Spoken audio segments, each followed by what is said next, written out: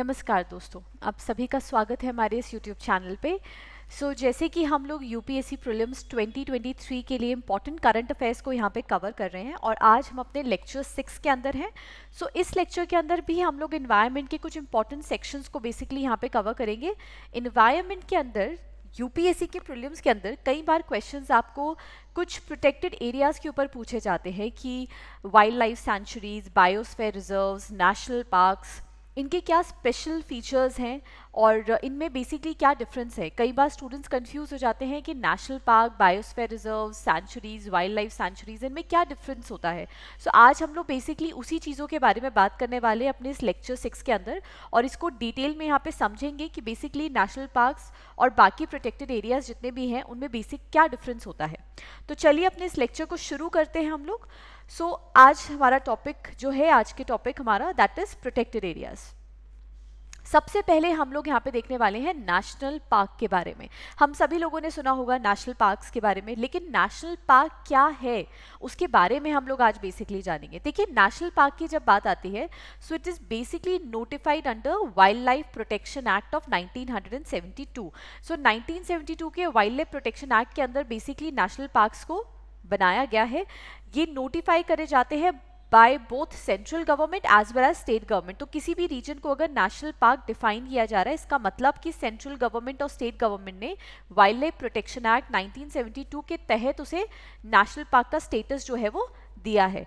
These are more protected and they have a protection in the wild life sanctuaries okay okay, यहाँ पे कोई भी human activity जो है वो परमिटेड नहीं होती है। Inside the national park area except for the ones permitted by the Chief Wildlife Warden of the state under the conditions given under Wildlife Protection Act 1972. तो 1972 के एक्ट के अंदर जो एक्सेप्शंस हैं, उसके थ्रू जो आउटर एरियाज़ में permission grant होगी, वो एक अलग चीज़ है, लेकिन नेशनल पार्क के कोर जोन के अंदर कभी भी कोई ह्यूमन एक्टिविटी जो है वो अलाउड नहीं होती है अगर हम लोग बात करें तो इंडिया के अंदर अप्रोक्सीमेटली 1.23 परसेंट जोग्राफिकल एरिया जो है कंट्री का, वो नेशनल पार्क्स का एरिया है जिसमें highest number of national parks जो हैं, वो आपको मध्य प्रदेश के अंदर देखने को मिलते हैं। सो so, ये हम लोगों ने नेशनल पार्क के बारे में एक बेसिक फीचर जाना जिसमें आपके लिए इंपॉर्टेंट है कि ये वाइल्ड लाइफ प्रोटेक्शन एक्ट 1972 के अंदर आता है। इसको बोथ सेंट्रल और स्टेट गवर्नमेंट जो है वो प्रोटेक्ट करते हैं नोटिफाई करते हैं। यहाँ पे कोर ह्यूमन रीजन के अंदर कोई ह्यूमन एक्टिविटी को अलाउड नहीं होता है except the few permission which is being granted by chief wild life warden and साथ ही साथ इंडिया का 1.23 परसेंट एरिया जो है वो जोग्राफिकल एरिया जो है वो आपका नेशनल पार्क्स के एरिया कंप्राइज करता है। और इंडिया में ऐसा कोई स्टेट जहाँ पे highest number of national parks है, वो है आपका मध्य प्रदेश। आगे बढ़ते हैं। Next is wild life sanctuary again ये भी वाइल्ड लाइफ प्रोटेक्शन एक्ट 1972 के तहत ही नोटिफाई करा गया है। सेंचुरी को डिफाइन करना नोटिफाई करना स्टेट गवर्नमेंट का काम है। क्राइटेरिया अगर हम लोग देखें तो किस एरिया को वाइल्ड लाइफ सेंचुरी कहा जाता है? If any area other than the area comprised with any reserve forest or territorial water is of adequate ecological, faunal, flora, geomorphological, natural और zoological significance. अगर इनमें से कोई भी एरिया डिफाइन हो रहा है तो उसको वाइल्ड लाइफ सेंचुरी के प्रोटेक्शन के अंदर रखा जा सकता है। अगेन यहाँ पर भी ह्यूमन एक्टिविटीज़ जो हैं वो रिस्ट्रिक्टेड होती हैं। More than 550 wild life sanctuaries हैं इंडिया में जो 3.64 परसेंट जोग्राफिकल एरिया हमारे रीजन का कंप्राइज करती हैं और highest number of wild life sanctuaries जो आपको देखने को मिलती हैं वो मिलती हैं आपको अंडमान एंड निकोबार आइलैंड्स के अंदर। सो so, इसको भी आप ध्यान रखिएगा। इसके बाद आता है हमारे पास कम्युनिटी रिज़र्व और कंजर्वेशन रिजर्व्स तो ये भी काफ़ी ज़्यादा इंपॉर्टेंट है। देखिए कम्युनिटी रिज़र्व जहाँ पे हमें नाम से ही पता चल रहा है कि कम्युनिटी जो है वो बेसिकली इसको प्रिजर्व करती है। सो so, ये भी आपका वाइल्ड लाइफ प्रोटेक्शन एक्ट 1972 के अंदर आता है। आ, बिल्कुल टेंशन मत लीजिएगा। आने वाले लेक्चर्स के अंदर हम लोग वाइल्ड लाइफ प्रोटेक्शन एक्ट 1972 को भी समझेंगे कि ये बेसिकली एक्ट क्या है। Okay okay? इसको भी नोटिफाई करा जाता है by state government after consulting with central government and the local community तो यहाँ पर लोकल कम्युनिटी से भी बातचीत करी जाती है। उनके साथ डिस्कशन के बाद ही किसी एरिया को कम्युनिटी रिज़र्व या कंजर्वेशन रिज़र्व का स्टेटस दिया जाता है। क्राइटेरिया अगर हम देखें तो क्या है यहाँ पे?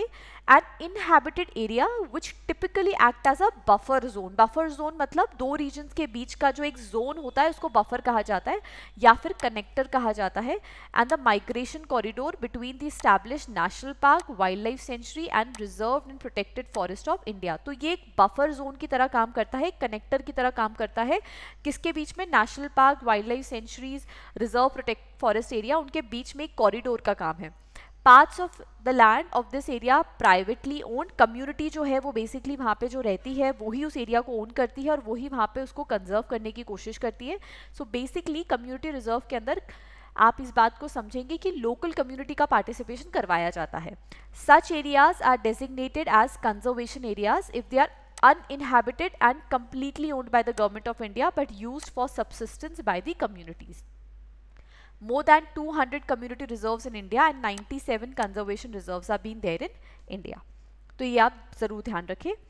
नेक्स्ट इसके बाद आता है biosphere reserve so international designation by UNESCO comprising terrestrial marine and coastal ecosystem so biosphere reserve सिर्फ़ एक किसी टेरिस्ट्रियल एरिया को ही नहीं कहा जाता, बल्कि terrestrial marine and coastal ecosystems जो है, वो बायोस्फेयर रिजर्व्स का फॉर्मेशन करते हैं. They are divided into core buffer and transition zone in decreasing order of protection India के अंदर अगर हम लोग देखें so we have 18 biosphere reserves in India जिसमें से 13 are the part of world network of biosphere reserve based on map that is man and biosphere programme जो हम अपने अपकमिंग लेक्चर के अंदर ये सारे 18 बायोस्फेयर रिजर्व्स को अच्छे से स्टडी करेंगे इनकी लोकेशंस देखेंगे। सो डोंट वरी मैप में मैं आपको सारी लोकेशंस इन बायोस्फेयर रिजर्व्स की ट्रेस करवाऊँगी कि 18 बायोस्फेयर रिजर्व्स कहाँ कहाँ पे है कौन से मरीन है कौन से टेरेस्ट्रियल है कौन से कोस्टल इकोसिस्टम्स का पार्ट बनते हैं। सो so, ये बेसिकली कौन से प्रोग्राम के अंदर आता है? This is under UNESCO's map programme that is man and biosphere reserve then we have bird sanctuary okay so next we have bird sanctuary so bird sanctuary मतलब एक ऐसी सेंचुरी जहाँ पे बेसिकली एक नेचुरल हैबिटेट है birds का, जिसको protect किया जा रहा है। Nature facilities that ensure conservation of various species of birds and their natural habitat that is a bird sanctuary and more than 70 bird sanctuaries are being there in India important bird areas next हमारे पास जो protected areas है, उसमें आता है आपका important bird areas so I B A that is important bird area programme of bird life international aim kya hai? To identify monitor and to protect a global network of important bird areas for conservation of world's bird and associated biodiversity. It serves as a conservation area for protection of birds at global regional or sub-regional level. Criteria kya hota hai? It holds significant numbers of one or more globally threatened bird species. Be one of a set of sites that together hold a suite of restricted range species or bio biome restricted species and have exceptionally large numbers of migratory और congregatory birds जहाँ पे migratory birds काफ़ी ज़्यादा आती हैं और या फिर congregatory birds यहाँ पे रहती हैं Bombay natural history society and bird life international identified 554 important bird areas in India so ये भी आपको बात ध्यान रखनी है। एंड इसमें जो इम्पोर्टेंट चीज़ है वो ये है आपके लिए कि बेसिकली जो इम्पोर्टेंट बर्ड एरिया है, उस रीजन को भी प्रोटेक्ट किया जाता है। एंड ये global region and sub regional level पे ही इनका कंजर्वेशन बेसिकली किया जाता है। So this is also one of the protected area which you need to remember so ये हम लोगों ने आज के लेक्चर के अंदर एक स्मॉल सेक्शन हमारा कवर किया है हम लोगों ने, जिसमें हमने कुछ प्रोटेक्टेड एरियाज़ को यहाँ पे कवर करा। नेक्स्ट लेक्चर के अंदर हम लोग इसके आगे फर्दर जो है वो सीरीज़ में कंटिन्यू करेंगे एंड उसी में हम लोग इन्वायरमेंट के फर्दर टॉपिक्स जो है उनको भी कवर करेंगे। आई होप हमार, आपको हमारी ये वीडियोज़ अच्छी लग रही होंगी एंड अगर आप इस साल का एग्ज़ाम दे रहे हैं या फिर ट्वेंटी का एग्ज़ाम के लिए इंस्पायर कर रहे हैं तो हमारे चैनल को ज़रूर सब्सक्राइब करें, आपके फ्रेंड्स कलीग्स जो भी इस एग्ज़ाम को दे रहे हैं, उन लोगों को भी ये वीडियो ज़रूर शेयर करें। अगले लेक्चर के अंदर हम लोग मिलेंगे नए टॉपिक के साथ एनवायरनमेंट में कुछ नई चीज़ों को देखेंगे जो आपके यूपीएससी प्रॉब्लम्स के लिए काफ़ी ज़्यादा इंपॉर्टेंट होने वाला है। Till then take care everyone keep studying thank you so much you can join us for further courses like a foundation course for twenty four UPSC और state PCS you can join us for the test series for prelims cum mains for UPSC as well as state PCS and even you can join us for subject specific classes which are also available at Radiance IS. For any detail, you can contact us on the given numbers in the description box. Thank you.